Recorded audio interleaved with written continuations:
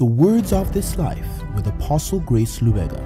When knowledge is the stability of your times, it's the stability of your times. It's what defines what you're going to be in the world. As you read this scripture, it is the responsibility of the word to make you if you give it opportunity. So, what's the secret? Get this thing in. Get your Bible. Make it a personal habit to study the word because you're up to something in this world. People must look at you as a wonder that is up to something. You must be up to something. That's why we pray in tongues. Every Christian must be up to something. You just can't be a normal life, but you're there just for, where do you live? I don't know. No, you know. That's why God desires to build a certain character in you. That's why the Bible says, if you faint in your day of adversity, your strength is small.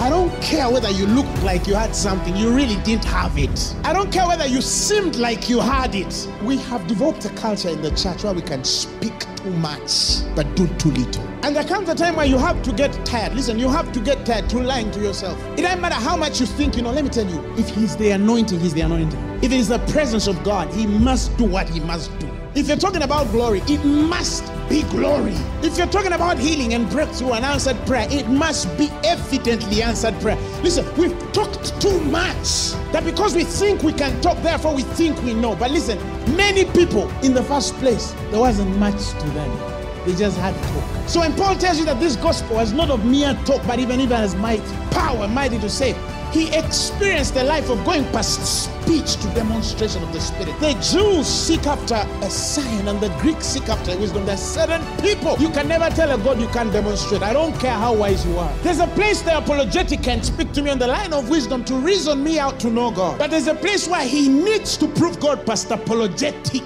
Have you been provoked to a place where you must prove God? If you've never, I pray by God in Jesus' name that you'll be provoked. It doesn't matter how much degrees you have, PhD, masters, theology, in that there's a point where it stops to be theology to theo demonstration. And you either know God or you don't know God. And that's the character the Lord wants to build in you.